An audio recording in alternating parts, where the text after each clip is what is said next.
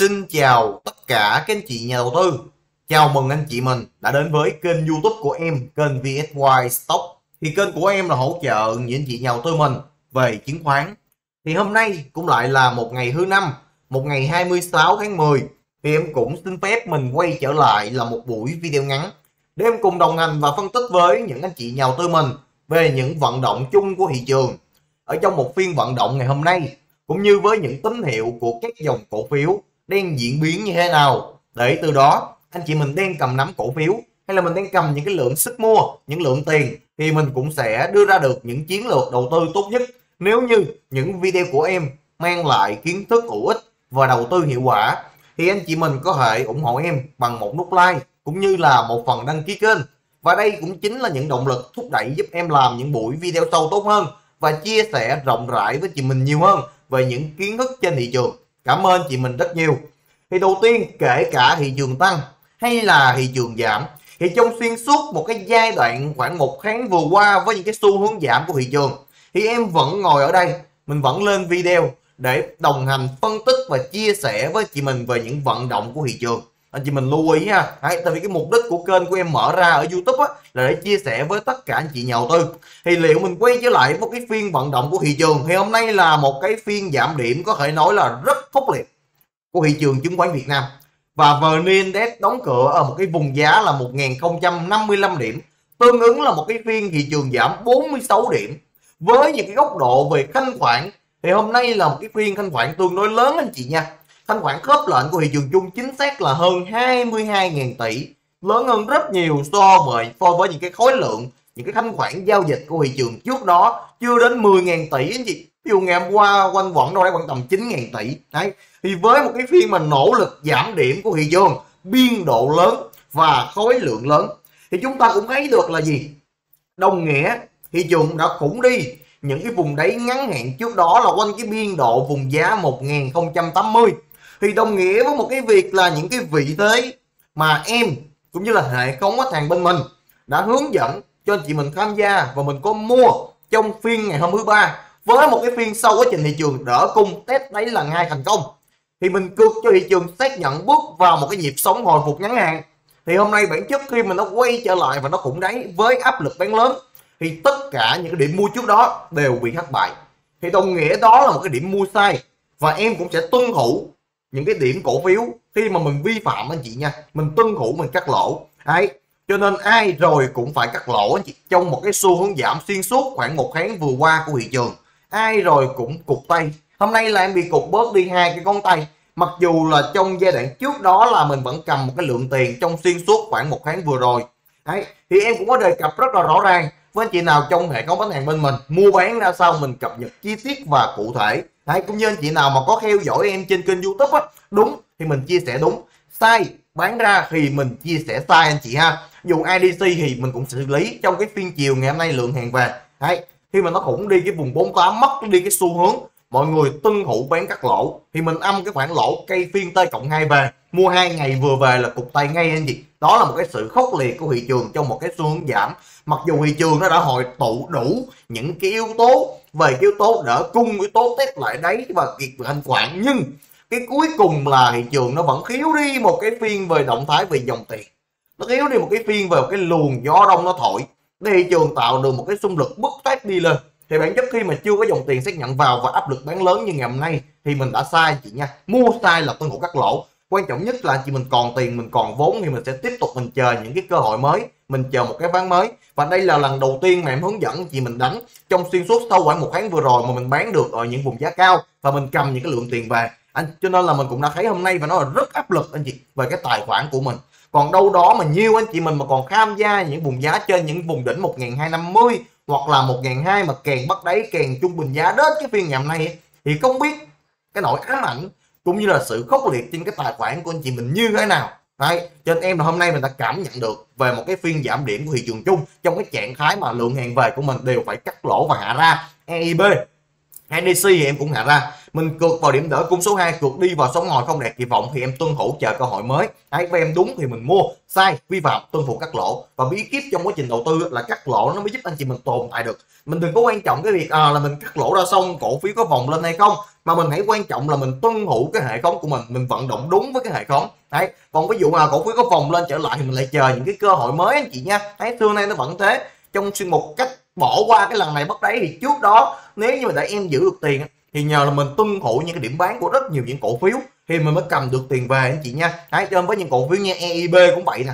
vi phạm về điểm hướng lên nè, thì em cũng sẽ cắt lỗ hạ ra. Cái khoản lỗ âm khoảng trung bình là 5 đến 7 phần trăm. Cổ phiếu Nam Long cũng như thế, chị, âm 5 đến 7 phần trăm. Đấy thì mình vào cái phiên đỡ cung số 2 cược và số ngồi không đạt kỳ vọng thì hạ ra. Ở đây cũng tương tự, anh chị mình thấy không? Đây cái khoảng lỗ mà cũng hệ hệ thống bên em mà mình cũng có. Như đây là cá nhân của em thì nó cũng có. Đấy, thì đây khoảng lỗ này năm, sáu, năm quanh quẩn cái vùng khoảng 5 đến 7 phần trăm thì mình cũng phải cắt ra, mình hạ ra thôi. Đa phần là mình đánh với cái tỷ trọng tiền mặt. Đấy, chứ mình đoạn này hiện vẫn nói chị mình rất là rõ về cái việc mà mình cược vào điểm sống hồi á. Thì mình phải chờ cái điểm xác nhận, ví dụ như à nó có điểm xác nhận vào á, thì mình mới gia tăng được cái quy mô vốn. Còn khi mà mình cược vào thì nó đơn giản là một cái điểm mà nó sai thì mình tuân thủ, mình xử lý ra. Đấy, cầm tiền cả tháng này vào vào cược đoạn này không đạt, em sai chấp nhận rủi ro và cắt lỗ chờ đợi cơ hội mới anh chị ha. Thấy quan điểm của em rõ ràng, chứ mình không có đi, mình không có đi mua thêm mà mình trung bình giá thêm anh chị. Thấy cho nên là mình sẽ quay trở lại với vận động của thị trường chung. Thì ở một góc độ nào đó, thì những cái vận động thị trường sáng nay anh chị, mình thấy thị trường mở những cái vận động về gap down nè. Cái gap down cũng là tương đối lớn anh chị nha. Thấy gap down bị áp lực bán lớn với khối lượng lớn nè kết phiên đóng cửa ở nửa dưới của 23 nè.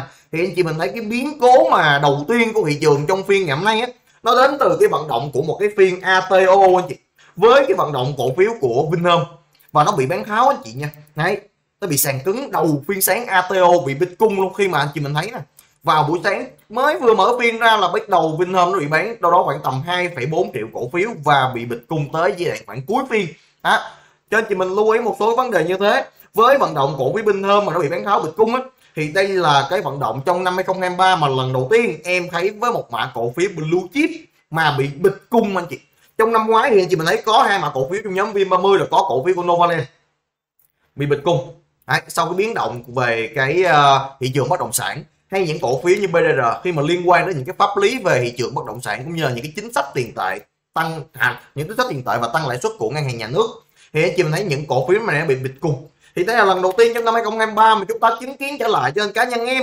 Thì mình tương đối sốc anh chị. Tại vì cái quy mô vốn á cũng như là cái vốn hóa trên thị trường của Vinhome á nó lớn hơn rất nhiều so với Novaland hoặc là so với phát đạt anh chị ha. Đấy cho nên mà nó sàn một cái phiên rất là lớn như ngày hôm nay á, thì đầu tiên á, thì mình thấy là Vinhome. Cái thứ hai á, là Vinhome sau khi sàn thì nó lan tỏa những cái áp lực đến các cổ phiếu còn lại và nó cũng bị bán theo đấy, thì bản chất mình thấy một cái áp lực bán chủ động xuất hiện ở rất nhiều những cái vận động các dòng, các ngành cổ phiếu. Đấy, thì đây là một cái vận động thật ra em không phân tích được. Khi mà Vinhome, không phân tích được, Vinhome thì bịch cung anh chị. Có thể gọi là nó nằm ngoài cái kịch bản của mình. Nhưng mà mình tuy mình phải quay trở lại cái trường hợp thị trường chung và cái cổ phiếu mà hôm trước mình có cược vào điểm đỡ cung đi lên mình mua, thì nó bị sai. Tại vì sao? Mình cược cái việc ở đây thị trường test đáy thành công và có nhịp sống hồi. Thì khi mà thị trường hôm nay giảm điểm cũng đấy thì nó vi phạm điểm mình xử lý thì bắt buộc mình phải tuân thủ mình cắt lỗ em không sợ cắt lỗ, mình chỉ sợ không có tiền thôi. Hãy cho mình cầm tiền về, tiếp tục chờ cho một cái cơ hội mới. Cho một cái nhịp tín hiệu tạo đáy mới của thị trường chung để mình sẵn sàng cho một cái giai tiếp theo, anh chị ha. Đấy, cho nên sai thì tuân thủ cắt ra, chứ em không có lý do nào để mình biện minh cho cái sai của này, cái sai này. Hãy cho cuối phiên thì mình cũng nói rất rõ ràng với chị nào trong hệ thống khách hàng thì xem như là à anh chị mình thấy dù thị trường ở đây thì cái vận động trong cái phiên của ờ, ngày ờ, hôm nay đó anh chị. Đó. Thì hôm nay là cái phần này. Em xin nợ nhóm mình. Nhịp sâu. Em sẽ hướng dẫn anh chị mình lấy lại. Với những cái khoản mình đã cắt lỗ trong phiên ngày hôm nay với IDC với cổ phiếu Nam Long và IDC này. Ví dụ IDC này nó cũng đi cái biên quanh vùng 48 đấy thì nó tạo cho một cái xu hướng ngắn hạn là hạ đỉnh. Những cổ phiếu nó vi phạm về điểm bán đó, những cổ phiếu như Nam Long thì em cũng hạ ra đấy, khi mà cái áp lực cây đẩy cung cây đẩy nền về nè mà nó bị fail thì em cũng sẽ hạ ra. Hy vọng là những cổ phiếu như Nam Long nó vẫn giữ được một cái vùng cân bằng đấy. Đấy cho anh chị mình thấy rõ ràng ha những cổ phiếu Nam Long mặc dù thị trường giảm nhưng chí ít nó không có bị đóng cửa ở vùng giá sàn cứng đó gì không có sàn cứng nó vẫn giữ cái vùng mà chị mình muốn bán thì mình vẫn xử lý được và mình vẫn cắt lỗ được. Thay vì những cổ phiếu bị bịch cung và sàn cứng như trong cái phiên vận động như ngày hôm nay những cổ phiếu Novaland nè đấy những cổ phiếu trên đỏ những cổ phiếu như Nam Long nè thì nó vẫn trong vùng biên cân bằng. Hy vọng là giữ được vùng cân bằng thì nhịp sau mình sẽ chú ý lại nhé nhưng mà hôm nay thị trường nó biến động lớn. Những điểm mua tất cả ở phía trên thì nó đều vi phạm khi mà thị trường cũng đáy, khi mình phải xử lý đó. Chứ mình không có cố chấp, anh chị nha. Hoặc là những cổ phiếu tiếp theo, ví dụ như là có IDC có Novaland và có EIB EIB cũng vậy anh chị. Hay pivot nè. Hàng về nó bị phủ định lại với một cái yếu tố có lượng lớn thì em cũng sẽ hạ ra anh chị nha. Đó. Cho nên một số à còn cổ phiếu VIX ngày hôm qua mình có hướng dẫn anh chị mình mua con mua con VIX đấy, thì đó cũng là một cái cái yếu tố sai lầm của mình trong phiên ngày hôm nay khi mà cổ phiếu VIX nó bị đóng cửa ở vùng giá sàn đóng cửa vùng giá sàn. Mặc dù nó không bị bịch cung, nó vẫn có yếu tố gấp lệnh, nhưng mà với hiệu ứng liên đới của một cái dòng, thì ngày mai lượng hàng viết về em sẽ đánh giá lại với chị mình trong mày có khách hàng ha. Đó, cho hôm nay là cái khoản lỗ mà mình cũng phải cắt ra. Thì chia sẻ với chị mình rõ ràng thôi, mua thì mua, nói bán thì nó bán. Minh bạch như thế, với chị nào tụi mình sai, mình chấp nhận mình sai để mình sửa sai và mình rút kinh nghiệm, thì em cũng sẽ rút kinh nghiệm thêm với thị trường chung đấy, thì mình sẽ chờ một cái sự chắc chắn hơn về những điểm cân bằng đấy và xét nhận dòng tiền. Thì khi đó mình sẽ có những điểm mình hướng dẫn chị mình mua trở lại. Và giai đoạn này là những cái giai đoạn mà thị trường em cũng đánh giá với tất cả những chị nhà tư mình đấy, thực chất thì bản chất thì còn tiền là còn cơ hội thôi anh chị. Khi mà ví dụ mình nhìn vào cái chẹt 30 phút người dùng chung nè, thì ngày hôm qua đã chia sẻ chị mình rồi. Thì nếu như nó không đạt kỳ vọng mình vẫn cắt lỗ thôi. Đấy, tại vì xu hướng người dùng chung ở đây vẫn là xu hướng giảm. Thì anh chị mình thấy thị trường nó vẫn bám đi cái trend line này cái đường xu hướng giảm thị trường chung là lên biên trên và biên dưới, lên biên trên, và biên dưới xu ấy, hạ đỉnh và hạ đáy của thị trường chung. Đấy vào cái điểm quan trọng nhất để thị trường nó bứt phát thì nó lại khiếu đi một cái điểm dòng tiền. Cho nên nó đang chờ gió đông đây nó bứt phát để về biên trên thì nó lại khiếu đi một cái điểm dòng tiền nhưng mà nó lại quay là nó khủng đi cái vùng đáy, quanh cái vùng đáy, quanh vùng 1076 anh chị nha. Thì đồng nghĩa quanh cái vùng 1076 đây nè, nó sẽ là cái vùng kháng cự của thị trường trong ngắn hạn. Và ở một góc độ nào đó thì có thể là ngày mai, thị trường sẽ có những điểm hồi phục kỹ thuật ngắn trở lại, sẽ test về lại quanh cái vùng 1070 1075 thì ở đây, anh chị mình có thể xử lý lên cổ phiếu với chị nào có nắm cổ phiếu vùng giá cao hoặc là anh chị nào đang cân mặt xin thì vùng này anh chị mình có thể là mình xử lý thêm. Và mình chờ cái vùng tạo đáy mới của thị trường chung nha. Tại vì xu thế thị trường chung ở đây là xu thế giảm. Thì mình cược cái vùng này tạo đáy ngắn đi lên nhưng mà không đi lên nó cũng đáy thì tiếp tục mình phải chờ anh chị tiếp tục là trạng thái hạ đáy của thị trường. Và hôm nay một cái điểm ở một góc độ nào đó khi mà mình nhìn vào cái volume ấy, thì thị trường này nổ volume anh chị. Nổ volume ngày hôm nay thì em đánh giá đó là một yếu tố tích cực. Tại vì sao anh chị? Tại vì nó thể hiện được là à, có một cái lực cầu giá thấp hấp thụ những cái lượng cổ phiếu trong cái phiên ngày hôm nay đặc biệt là cái vận động sau 2 giờ thì có một cái lượng, có một thời điểm anh chị mình thấy phải có 5 phút là có một cái lượng nó vét được những cái lượng hàng ở vùng giá sàn. Thì thường trong cái giai đoạn này hoảng loạn anh chị, không ai dám mua đâu. Em chắc chắn ví dụ em ngày hôm nay mình cũng phải bán đó. Và những nhanh chị nhà đầu tư nào ở vùng phía trên, càng bắt đáy, càng bắt đáy, càng bắt đáy đến vùng này kiểu gì anh chị mình cũng sẽ bán thôi. Chứ mình không có cầm nổi cổ phiếu đâu. Và đặc biệt là bắt đáy những lên đoạn trước đều lỗ và chắc chắn với chị mình phiên ngày hôm nay không ai dám bắt về cổ phiếu nữa. Đấy. Thì bản chất anh chị thấy một cái lực cầu nó vào nó hấp thụ thì đây là cái hành vi và vận động của tổ chức, anh chị nha. Tổ chức còn hấp thụ, ấy nổ volume khối lượng lớn nè đó. Nhưng mà anh chị mình lưu ý một điều là gì? Tổ chức họ không phải gom hàng trong một hai phiên. Thì em nói với chị mình đây là cái phiên tổ chức họ gom nè. Nhưng mà không phải họ gom trong một hai phiên, đây là một phiên gom nè. Đây là hai phiên gom nè, anh chị mình thấy không? Không phải gom trong một hai phiên, mà gom hàng nó là một cái quá trình. Họ có thể gom trong một cái đà giảm. Và cái quan trọng nhất sau quá trình gom nó phải tạo được cái vùng cân bằng đáy, vùng tạo đáy và có điểm xác nhận dòng tiền đi lên trở lại. Thì nó sẽ tạo một cái xu hướng mới thì ở đó em sẽ hướng dẫn chị mình tham gia trở lại với những cái cờ về cổ phiếu á. Chứ vùng này bản chất thì em cũng không phải là một người mình quá tiêu cực với thị trường chung đâu, chỉ là mình mua sai thì mình tiêu thụ cắt lỗ là việc rất bình thường. Đầu tư mà anh chị chốt lại được thì cắt lỗ được thôi. Đấy. Cho nên ở một góc độ nào đó thì mình sẽ nhìn trở lại một số cái vận động của thị trường. Thì có thể ví dụ như đây mở gấp đau nè. Nếu như mà thị trường nó vào được kịch bản này nha, thì có thể có hai cái yếu tố mà chị mình lưu ý về hai kịch bản tạo đáy của thị trường chung. Thì kịch bản đầu tiên, nếu như thị trường này ngày mai đỡ cung lên, một cái phiên đỡ cung quyết liệt luôn nha hấp thụ cái phiên giảm này thì thị trường thường cũng sẽ có quá trình nó test lại. Nó test lại để tạo hai đáy anh chị lúc nào vậy lên phải tạo hai đáy. Giống như ở đây à một đáy nè tạo là hai đáy nè. Thì sau quá trình mà tạo hai đáy và đỡ cung số 2 thành công nè nó phải xác nhận một cái phiên dòng tiền. Và cái phiên dòng tiền này á, nó nên mở gap up nó tăng luôn. Để làm gì? Nó tạo một cái form mô hình về island reversal. Mở gap down vùng đảo gom hàng và gap up đi lên. Nếu như vào được kịch bản này phiên đi lên và có dòng tiền nha. Thì anh chị mình sẽ có những điểm mua. Đấy, cho nên vùng này thì mình cứ quan sát chứ mình không nên quá tiêu cực vì trường chung đâu. Đấy, thị trường nó vẫn thế thôi, chỉ cái đa giảm khoảng một tháng nay rồi mà. Đó, còn kịch bản số 2 nếu như nó không vào được kịch bản Island Reversal thì anh chị mình lưu ý cái kịch bản số 2 của thị trường á, nó sẽ là một cái kịch bản mà giai đoạn này nó cứ dí bán này, nó dạng tạo về vùng đáy bao giờ cũng là cái vùng hoảng loạn nhất. Thì nó cứ dí bán nó ép bán tạo những cái vùng hoảng loạn. Thì nó sẽ sớm có những cái vùng đáy để đi lên còn mà thị trường cứ lình xình lình xình lình xình lình xình như cách đây khoảng vài tuần trước á anh chị mình thấy nó giảm đây là lình xình hồi phục đi lên là thiếu dòng tiền nè hoặc là trong giai đoạn vừa rồi. Em cược đây là vùng đáy nhưng mà lình xình cân bằng đáy và nó thiếu dòng tiền nè. Thì thị trường sẽ mất thời gian tương đối lâu. Đấy, cho nên chị mình cứ để thị trường nó đè ép bán biên rơi lớn xong thì nó sẽ sớm có vùng đáy của anh chị nha. Đó thì đó là hai kịch bản mà em đưa ra cho anh chị mình.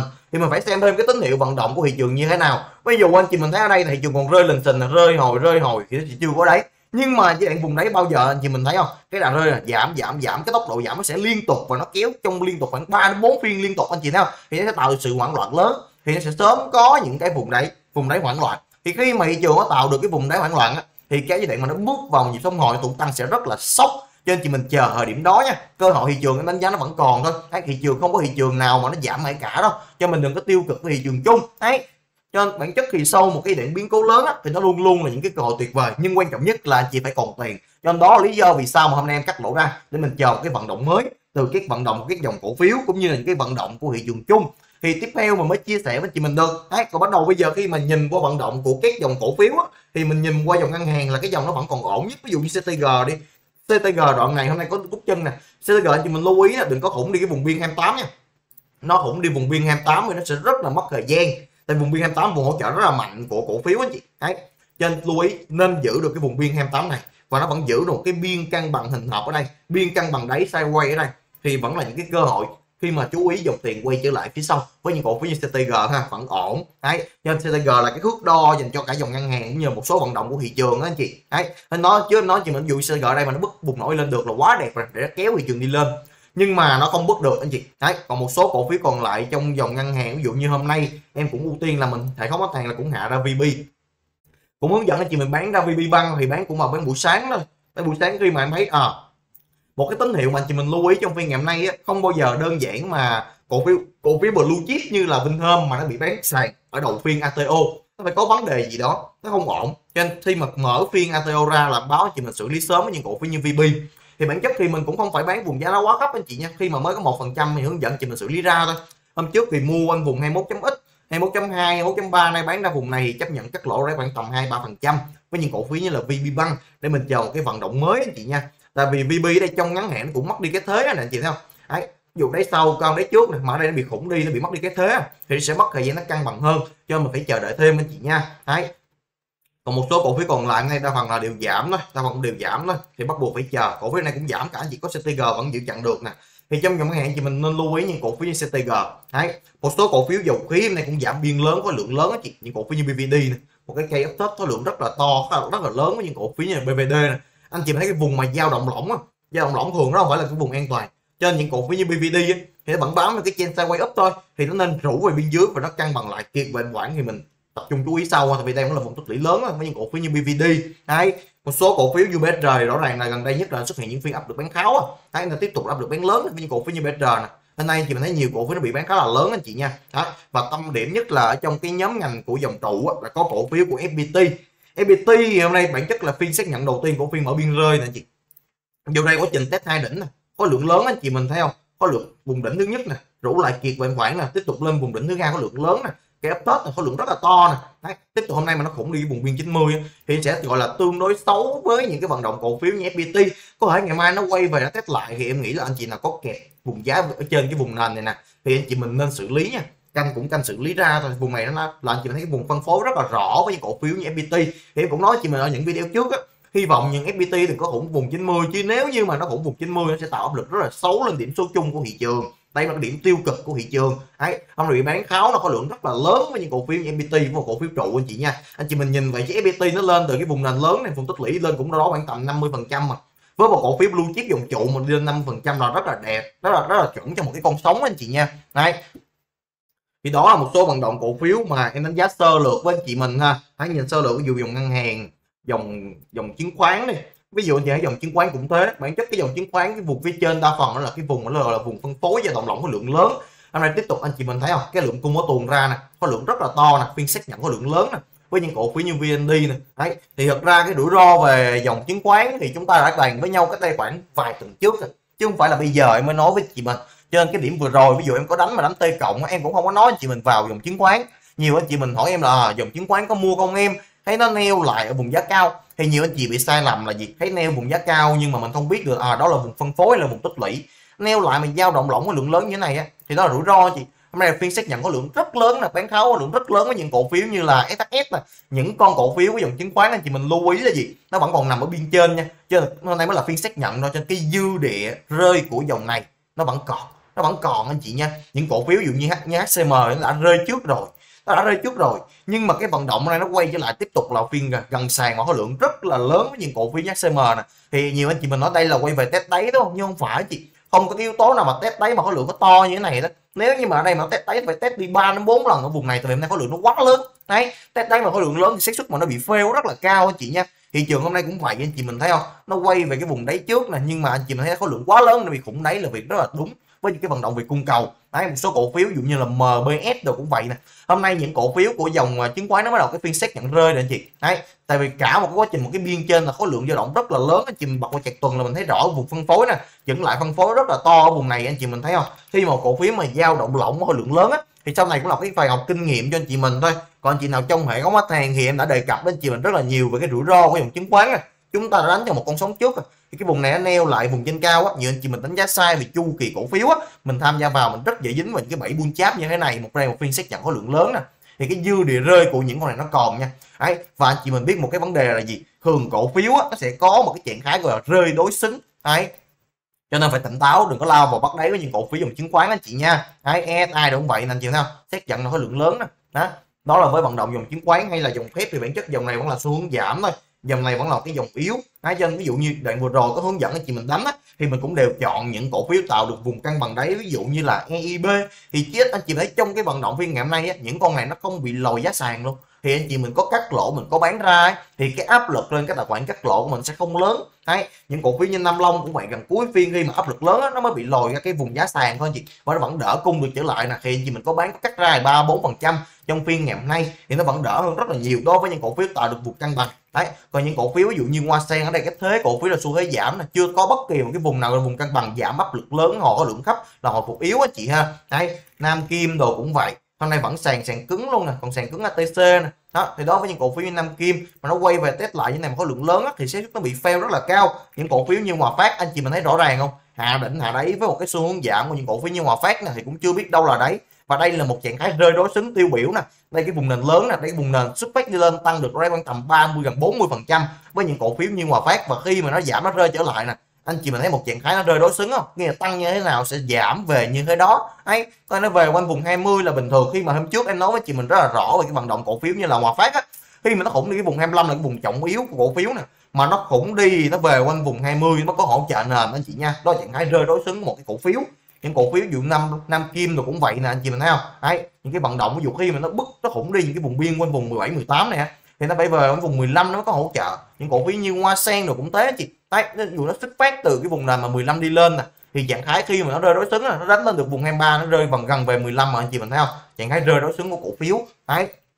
Cho nên ví dụ trong quá trình đầu tư á, thì là thì xu hướng giảm, anh chị mình mua như thế nào cũng được. Nhưng mà khi sai thì cá nhân em là một người mà mình luôn luôn kỷ luật và tuân thủ các lỗ có thể là mình bán ra ngay đấy cũng được, anh chị. Mình sai với thị trường sai với cổ phiếu, mình bán ra cổ phiếu vòng lên. Nhưng mà mình đúng với cái hệ thống phương pháp của mình.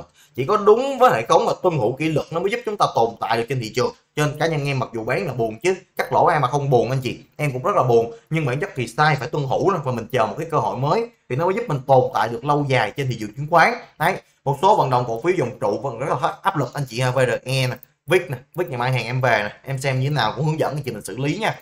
Vinhome bịch cung nè, cũng không biết ngày mai ra sao luôn á, rất là khó đánh giá anh chị. Nó rơi mà rơi bịch cung luôn, những cổ phiếu Masan nè, trên giảm nè chị thấy không? Giảm rất là khốc liệt ha. Dòng trụ là cái dòng áp lực rất là lớn gát gát mà gần sàn luôn nè. FPT nè, nay mở biên nè hay DG bắt đầu những con này kênh trên, bắt đầu neo neo là bây giờ mới rơi này dao động lỏng có lượng lớn nè chị thấy không? Đấy rất là rủi ro này bắt đầu mở biên nè. Đó còn FRT này FRT không biết sau này nay là cút chân trở lại nhưng mà cũng rất, rất là mong manh rất là mong manh với những cổ phiếu như là FRT đấy thì đó là một số cái vận động của các dòng cổ phiếu trên thị trường. Thì ngày mai chị mình cứ quan sát thêm thôi tùy những cái tín hiệu tạo đáy như thế nào của thị trường chung thì em sẽ cập nhật thêm đến chị mình trong hệ thống khách hàng. Cũng xin chia buồn với tất cả mọi người ha. Thì cái phần nợ này em vừa hướng dẫn chị mình mua trong phim thứ ba nay hai ngày về là mất ngay luôn là mất tiền anh chị. Đấy thì mình sẽ xin nợ lại và hướng dẫn chị mình kiếm lại ở trong một cái nhịp sống tiếp theo. Đấy còn mọi người nè, anh chị nào muốn đồng hành cùng em trong một cái tiếp theo á, trong một cái chu kỳ sau á, thì anh chị mình có thể liên hệ với bạn trợ lý bên em là bạn Hải Anh. Thì mình sẽ xem thêm những cái tín hiệu nào mà tạo ra cái thị trường chung em sẽ mở ra cho anh chị mình trong hệ thống khách hàng một cái buổi đào tạo để chúng ta cùng nhìn nhận kỹ như có sự chuẩn bị anh chị ha, để mình tham gia với thị trường chung. Thì anh chị mình phải liên hệ với bạn Hải Anh qua số Zalo là 0945 866 915 ngày hôm qua là có hai anh chị nhào tư mình, em không biết là ai, nhưng mà anh chị mình có mở tài khoản á, nhưng mà mình chưa có liên hệ bạn trợ lý để vào room á thì anh chị mình liên hệ lại với bạn trợ lý giúp em nha. Ấy, bạn trợ lý sẽ add anh chị mình vào hệ thống để chúng ta có sự chuẩn bị. Anh chị nào muốn tham gia vào link của phần room cộng đồng á, thì ở đây có phần link. Anh chị mình click vào để mình tham gia, anh chị nha. Đây là một cái room cộng đồng miễn phí đó. À cũng xin xin lỗi anh chị mình trong hệ thống cộng đồng là cũng có chia sẻ anh chị mình về cái cổ phiếu cơ hội trong phiên thứ ba để anh chị mình mua. Thì hôm nay hàng về cũng có sai cắt lỗ em cũng có báo anh chị mình chi tiết để anh chị mình xử lý đúng vì mình mua sai mình, tuân thủ mình hạ ra anh chị nào trong trong cộng đồng thì mình cũng đang hiểu cái chiến lược vận động của hệ có bán hàng bên em. Ấy thì có lãi chúng ta cùng chia nhau để mà chúng ta kiếm tiền. Còn khi mà ví dụ nó sai thì thôi, mình cũng phải chờ một cơ hội mới. Em sẽ nợ anh chị mình lần sau ha. Xin chào cả nhà. Chúc anh chị mình buổi tối vui vẻ bên người thân và gia đình. Hẹn gặp lại chị mình trong buổi video cuối tuần.